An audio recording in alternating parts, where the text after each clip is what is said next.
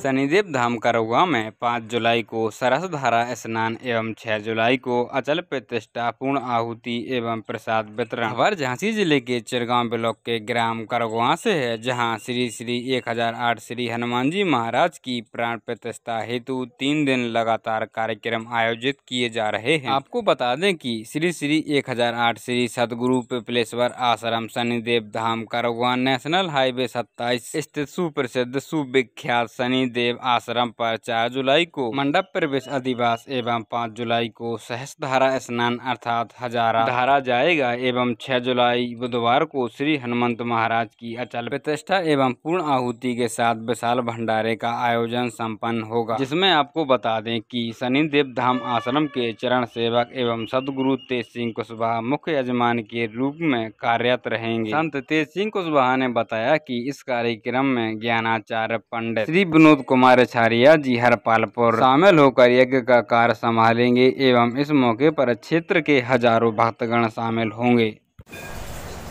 महाराज जी आपका नाम क्या है और ये जो अभी जुलाई में जो कार्यक्रम होना है तो क्या कार्यक्रम है आपके यहाँ? श्री हनुमान जी महाराज की प्राण प्राण प्रतिष्ठा है।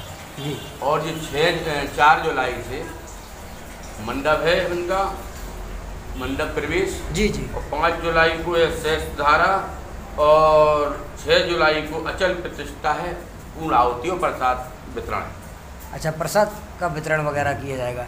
तो यह कार्यक्रम सुबह या शाम कभी किस पहर को की जाए किया जाएगा? ये दिन भर चलेगा। जी।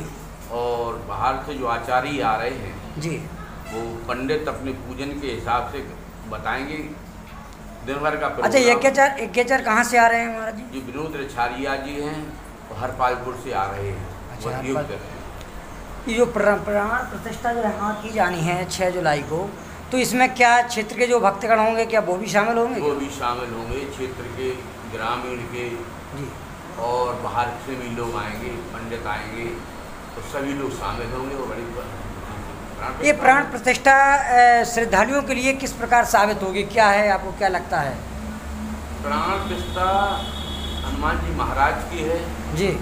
सिद्ध मूर्ति है और सभी को आशीर्वाद मिलेगा और सभी की मनोकामना। पूर्ण होगी। इसी के लिए भगवान की पूजा आराधना लोग करते हैं। अब महाराज जी इस मंदिर पर क्या- हो? क्या कब से हो? करीब हमको साढ़े चार साल हो गए ये मंदिर। अच्छा मंदिर के निर्माण ही को साढ़े चार साल अच्छा महाराज जी आपका नाम क्या है पूरा? हमारा नाम तेज सिंह कुशवाहा है और जी।